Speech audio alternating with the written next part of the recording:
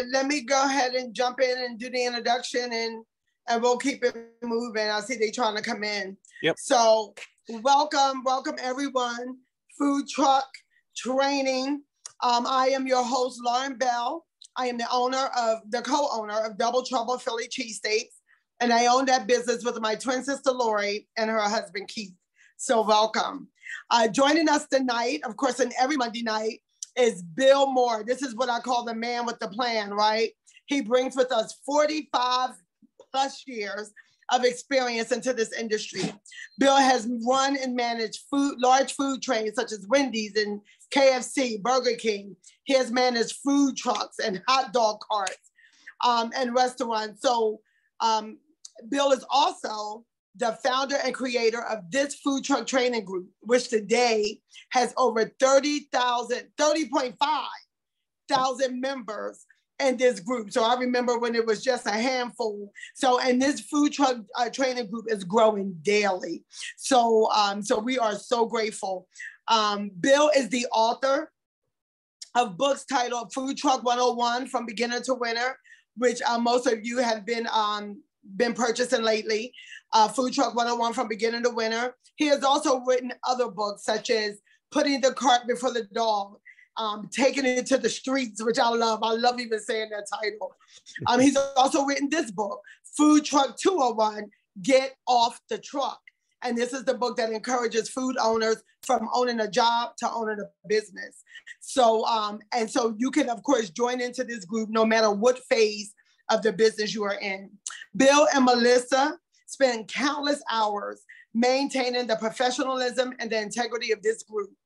Um, they are, uh, and when I say countless hours, I mean countless hours, day in and day out. You could always see a comment or um, post from Bill and Melissa trying to maintain and make sure that your questions are answered.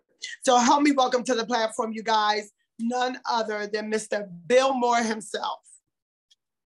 Thank you so much. You, you keep adding on stuff to the introduction. My head is not going to be able to fit through the door.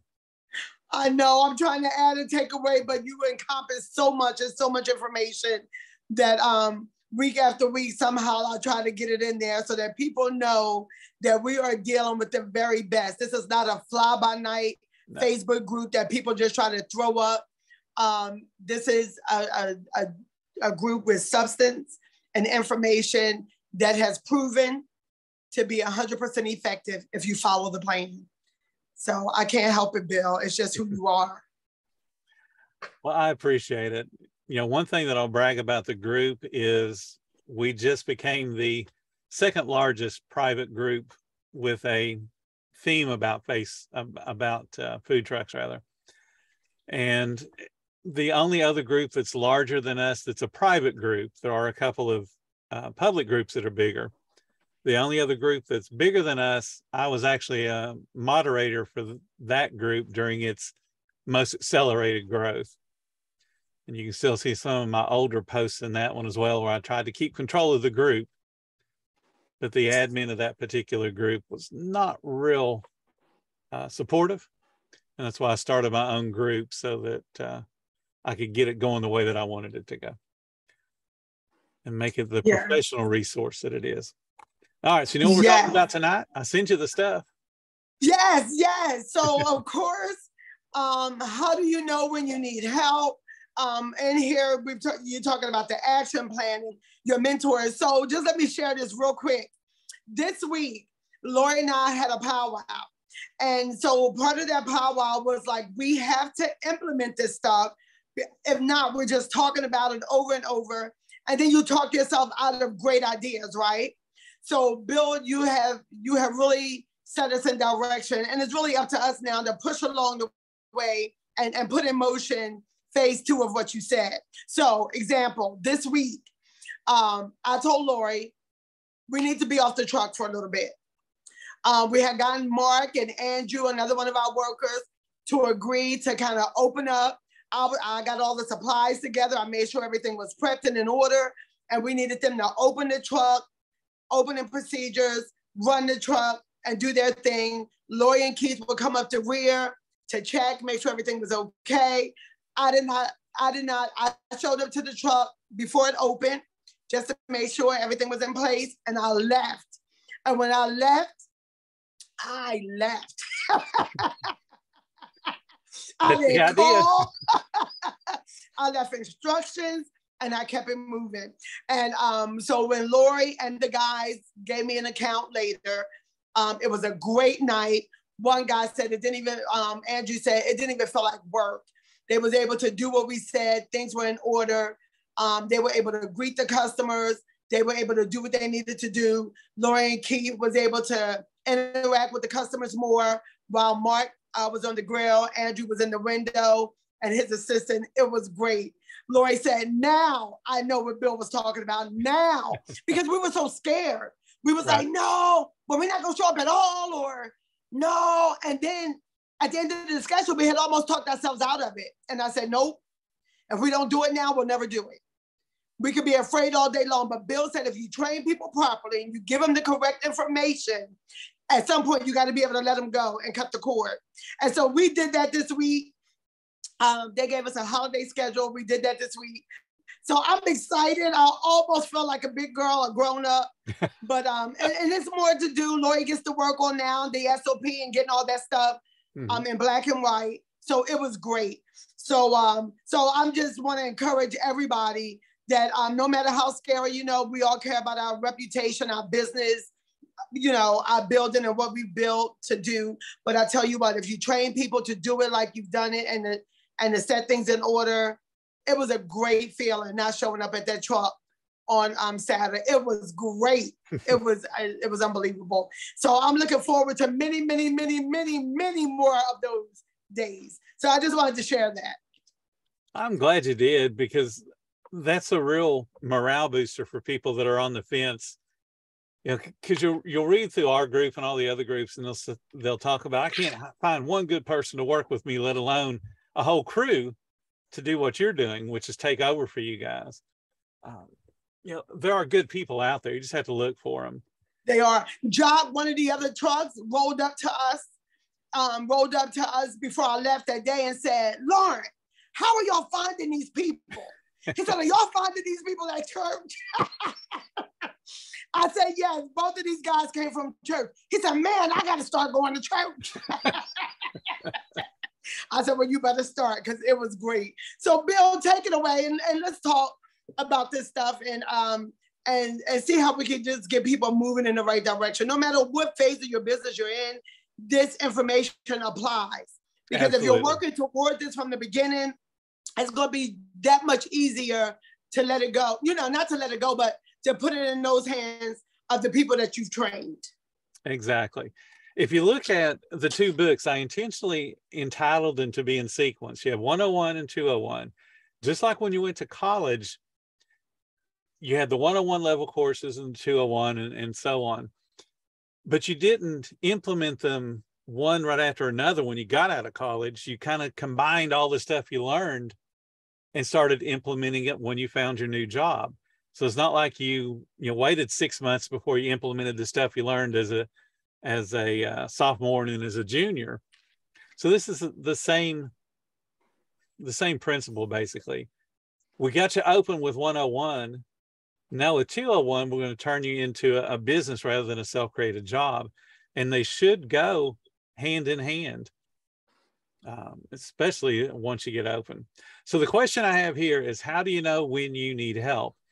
And I'm not talking about I'm not talking about when you need help as far as you know flipping hamburgers or making Philly cheesesteaks or, or putting together a, a hoagie. What I'm talking about is when do you, as the owner of the business, the leader of your food truck, how do you know when you need help? Because a lot of owners will not admit that they need help. They most owners are very stubborn and bullheaded and think they know the answers to everything and they're afraid to go ask for help because they don't want to appear like they don't know everything. So you have to understand when you need help and then do the next hardest thing, which is go ask for that help. So let's jump right into the chapters this week. One person to let in. All right, let's go. Last week we talked about setting goals, and we also talked about the strengths, weaknesses, opportunities, and threats. Those were the two main topics that we talked about last week. So now continuing on with those topics, you have to have an action plan. And this is you as the leader of your business, you as the owner have to have an action plan for everything you're going to do. The action plan relates back to the goals that we talked about setting last week because the action plan is what you're doing to accomplish those goals. You have to have strategies and resources. Now, a strategy is designed to help you achieve a goal, or it's a step that supports some of the goals that you have. And strategies, you got to understand they work most of the time. They don't work 100% of the time. Because if they were um, perfect and would work 100% of the time, it would be called a strategy. A strategy if you think about chess, there's all kinds of different opening strategies. There's no one that's better than another. And of course, they all depend upon how the opponent handles whatever your strategy is. It's the same thing when we're talking about strategies in your business. There are a lot of things that we can give you that will work and they'll work great, but you also got to have that real time uh, reflection on what's going on and make adjustments in real time so that you always stay ahead of whatever's happening in your business at that moment. Now, if you got actions and you got strategies, then that means you also have to have assessments. You got to figure out are we actually moving in the right direction? And you got to be honest with yourself. You got to celebrate any kind of progress that you make. Then you also have to correct any shortfalls.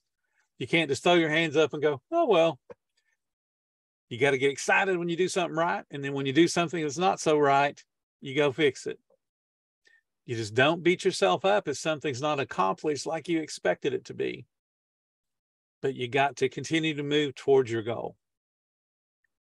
Don't let something prevent you from achieving what you want to achieve. Accountability. Now, here's where we get serious with us being owners. As a food truck owner, you have to hold your team accountable. We all know that. We're going to tell them how to make a sandwich. We're going to tell them how to wrap a sandwich. We're going to tell them what to say when they talk to guests when they come up to the window. Those are all training things. But we also have to hold ourselves accountable for the results of the business. So we spend time training our employees to do something and then it doesn't get accomplished the way we expected. Then we have to hold ourselves accountable and take responsibility for us not achieving what we had intended. So you have to hold your team accountable for their results, but you also have to hold yourself accountable for the results the business produces and your own goals. All right, so let's get into the details of that action plan. Remember, it still relates back to your smartest goals that you would set. And just quick reminder, SMARTEST stands for specific, measurable, achievable, realistic. They're time bound. You got to have all of your goals be ethical and moral. You got to share it with somebody so there's that little bit of peer pressure to get it accomplished. And then you got to talk about what's in it for you so that you understand and have that motivation to get that goal accomplished. If you don't tie it to something that you can achieve or or reward yourself, you're not going to be as enthusiastic about hitting those goals. So the objective. This is basically the statement what are you going what are you going to do? Now it doesn't have to apply to a smart goal or a smartest goal. It doesn't have to apply to something that's big and grandiose. It could be you just looking at your your average check and realizing that our average check is down a couple of dollars. We're not suggested selling desserts enough. And that could just be an objective that you're going to have for the next week. We're going to work on suggested selling more desserts or more french fries or more potato chips or more sodas. Simple objective. And in this case, I just wrote, I will reduce my actual food cost to within a half a percent of my theoretical food cost. Food cost is something you should be looking at each week. And you should be doing inventory to see where you actually stand. The theoretical food cost is taking your recipes that you wrote and comparing them to what you actually sold on your POS system. And then that tells you what your actual your theoretical food cost could be, and then the actual food cost is you walking around and taking an inventory, and you compare those two numbers. And if it's not within a half a percent, you got a problem. You need to figure out what that problem is and then correct it. because you're wasting money. When we go into the criteria, what proves the objective was achieved? Theoretical food cost is 25.25. Actual food cost is less than 25.75. So that would be the two numbers. When the theoretical food cost is determined, 25, 25. And as long as your inventory food cost, the one you physically are counting, is less than 25, 75, you've hit what you said you wanted to do to be within a half a percent. And then if you're not, you got to take some action. What tangible actions can you do to help achieve that objective? For instance, on inventory, the very first thing I fall back on if I'm not hitting my food cost the way that I think I should be is to start taking a daily inventory. So I'm not surprised at the end of the week.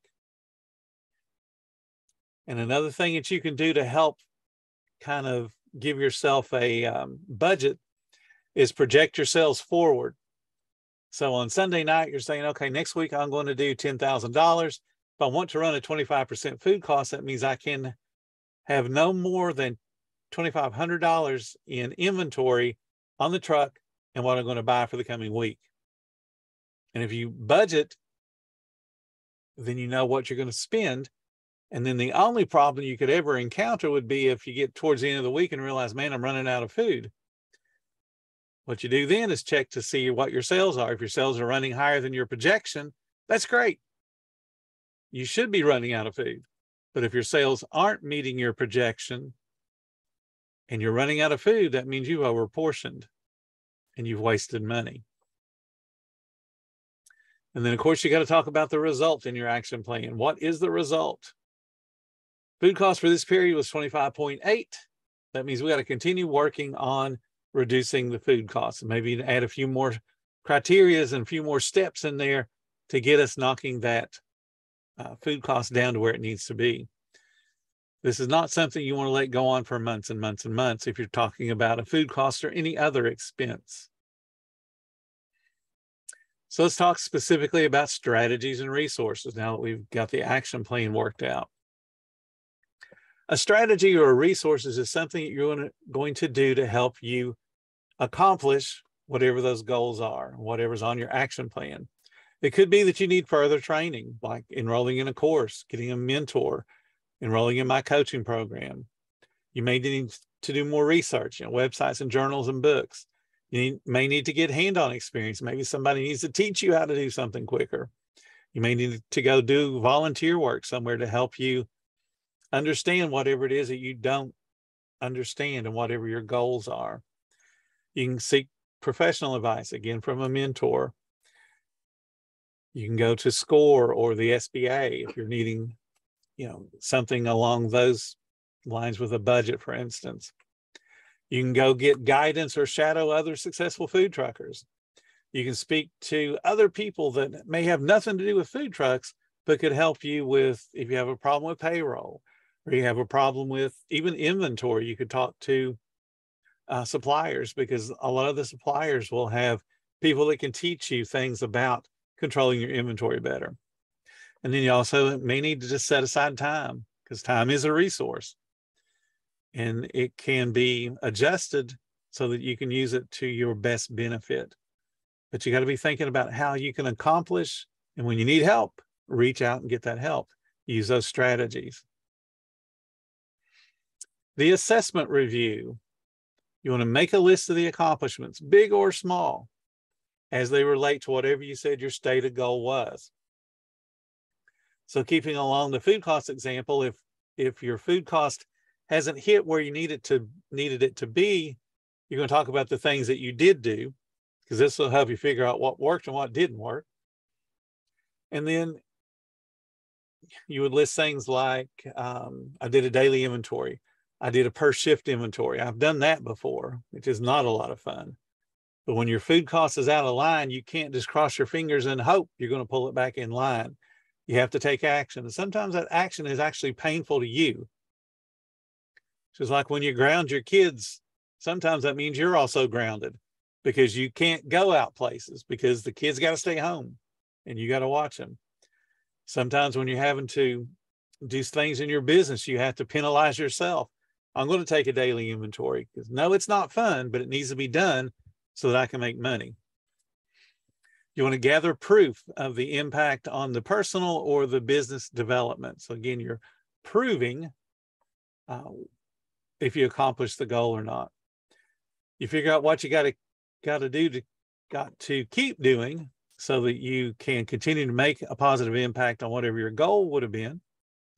Then you got to figure out what you got to stop doing because there could be some things that you did that just did not help at all. So don't waste the time.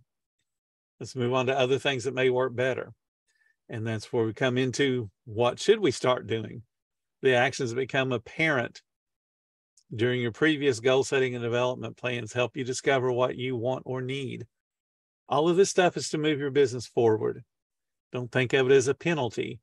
Don't think of it as, oh, we don't need to do that because I'm a food truck owner and I know what I'm doing. Because all you have is a self created job, unless you can step off that food truck and it run better than when you're there. That's always my goal. I wanted the restaurants and the food truck and the hot dog carts to run way better when I was not in everybody's way. Let's talk about demonstrating accountability. Goals for the team. This is something that I always did in every single restaurant, every single food truck, and even on the hot dog carts. Every person knew what the goal was for the shift, and it would be the number of sales we want to hit, the number of desserts we want to sell, the number of hot dogs on the hot dog carts. We had goals. We knew what we needed to do for that day. And if I had several employees, each employee had its own goal. For a cashier, it may be suggested selling those desserts. For somebody that's cooking on the grill, it may be to have a certain dollar amount of waste, having a certain less than a certain dollar amount of waste. Waste is not a goal to achieve. Waste is, is a ceiling you don't want to pass. You want to have performance management. And what that means is you're going to celebrate success, but then you got to coach the shortcomings. When you're able to celebrate success, it has a lot more meaning if you've had to from time to time coach those shortcomings because the shortcoming is that little slap on the wrist that makes those celebrations more meaningful. You want to think in terms of team building. You want to review those goals and the impact on the business so the staff understands the why. One of the things that Melissa wants whenever we're doing something new or different is to understand the why and then to teach people what that why means people don't like to fo- blindly follow just the rules. They want to know why is this rule here? How does it impact the business? Why do we do what we do? And sometimes when you go to explain that kind of stuff, you might actually get a better idea from somebody. Well, hey, how about if we did it this way? Another way you can demonstrate accountability is in trust and integrity, and that starts with you setting the example.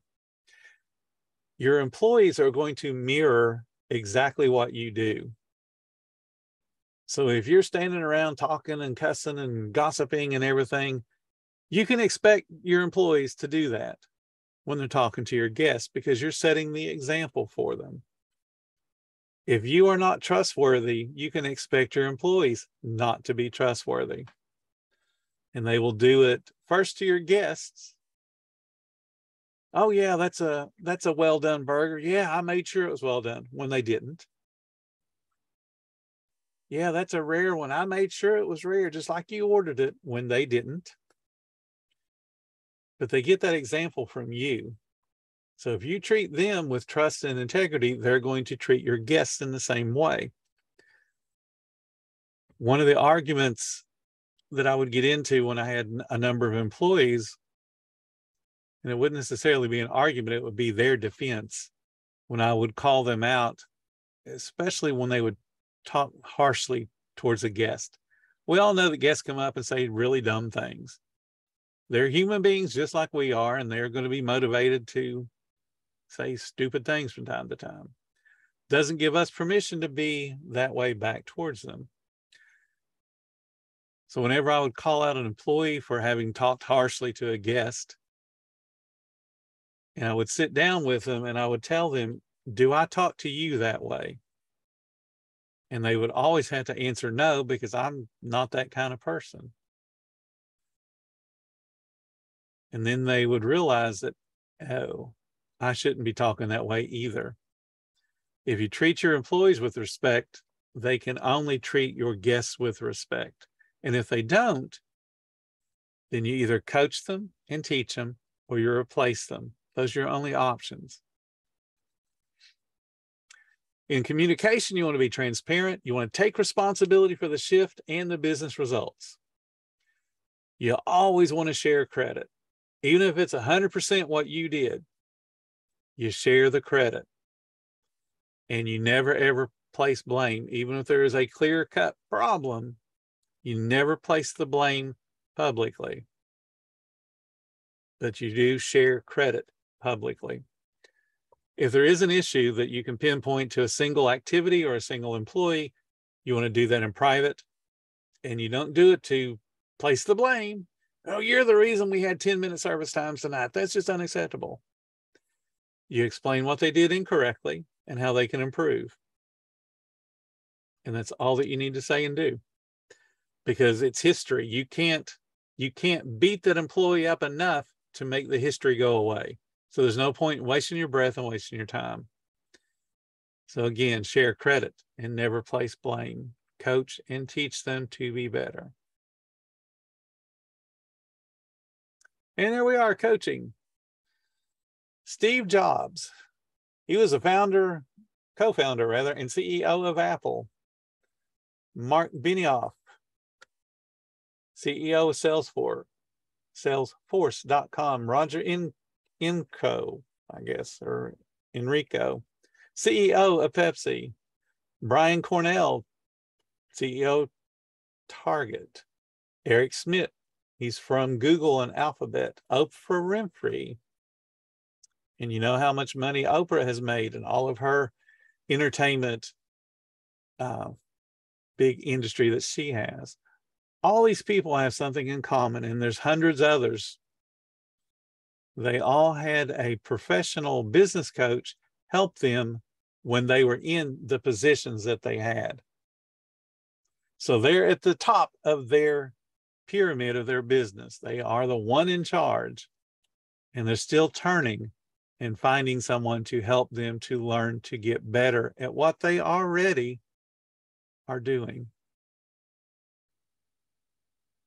That's what I do all day long. I coach people on how to be better business owners. I coach people on how to be better food truck owners.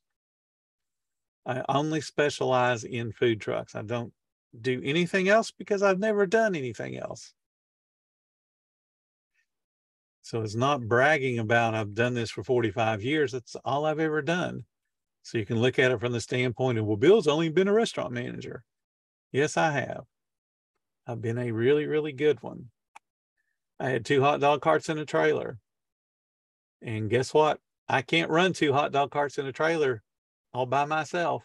Other people ran them for me. I didn't have to do it. And that's what we're trying to get you to, to the point where you can step off the truck, to the point where you can come home, sit down and enjoy dinner and not worry about the business that somebody else is running for you. And you're making money while you're having dinner. You're making money while you're sleeping. You're making money while you're on vacation. So if you need a coach, I'm here. I'm available. It's what the whole Facebook group is about. That's why I wrote the books. All right. Well,